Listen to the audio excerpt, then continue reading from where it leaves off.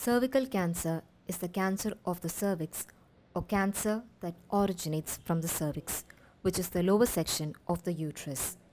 Dr. T. Raja is a consultant medical oncologist at Apollo Specialty Hospital. What are the early symptoms of cervical cancer? Cervix cancer is usually an, uh, a relatively um, older women and it's usually common in the in the post menopausal age and therefore whenever there is a post menopausal bleeding or what we call sometimes a post contact or a post coital bleeding or any discomfort or some discharge or uh, some pain then there there must be a suspicion of something wrong there and cervical cancer is a possibility. Explain some of the complications of cervical cancer. Cervical cancer is uh, once again a very common disease in India. In some parts of the country or most parts of the country cervical cancer is the commonest cancer in, in women. In some parts breast cancer is more common but most parts of India cervical cancer is the most common cancer in, in women and the most common cause of death due to cancer is once again cervical cancer. Unfortunately, um, most patients get diagnosed at a, a, relatively later stage. This disease can be diagnosed at a very earlier stage. When the disease reaches a higher stage, it leads to a lot of complications.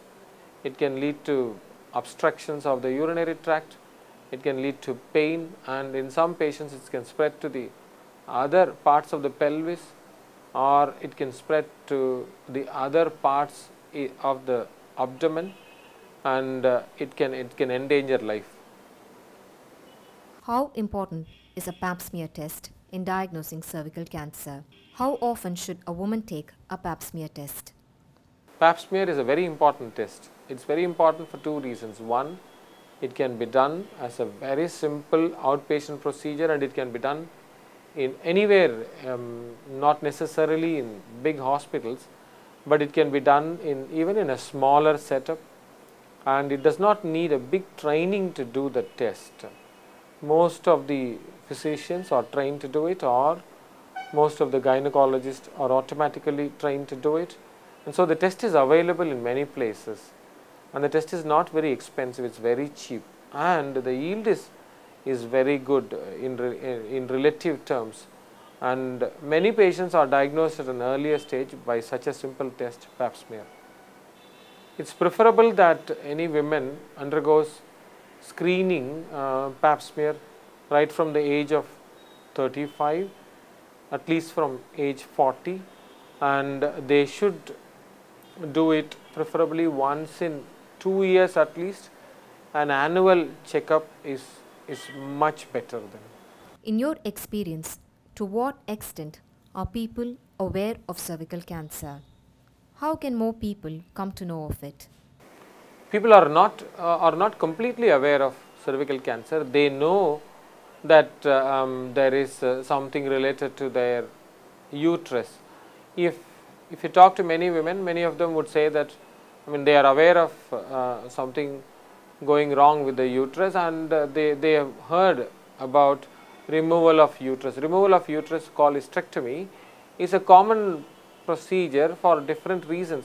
So, for that reason women come to know about removal of hysterectomy, removal of the uterus called hysterectomy and to some extent they are aware that uh, the uterus and the lower part of the uterus can give rise to a cancer, but the awareness of cervix cancer is still very low considering the fact that cervical cancer is such a common cancer.